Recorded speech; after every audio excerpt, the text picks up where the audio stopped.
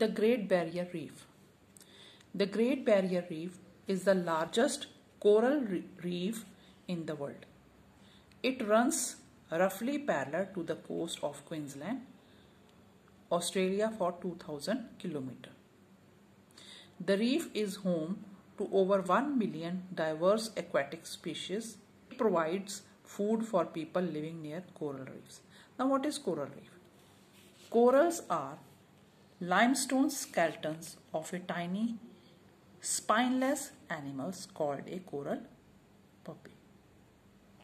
They harden and often create a ridge like structure in shallow warm water in tropical region. These are then called coral reefs. They grow slowly, maybe less than 5 centimeters a year.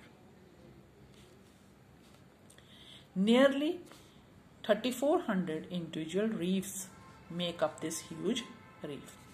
This is the Great Barrier Reef. Okay. The next is Tasmania.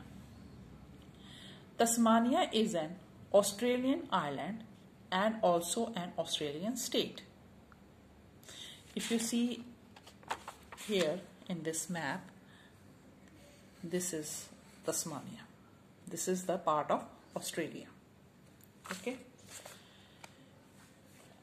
And if you see, Tasmania is located 240 kilometer south of the eastern side of the continent. It is separated by it is separated from Australia by the Bass Strait. It was explored by Dutch this state is discovered by Abel Tasman in 1642 and in, in his honor it is called Tasmania. The land in Tasmania is rugged. It experiences a temperate climate. The vegetation varies from heavily grazed grassland of the dry midlands to the tall evergreen eucalyptus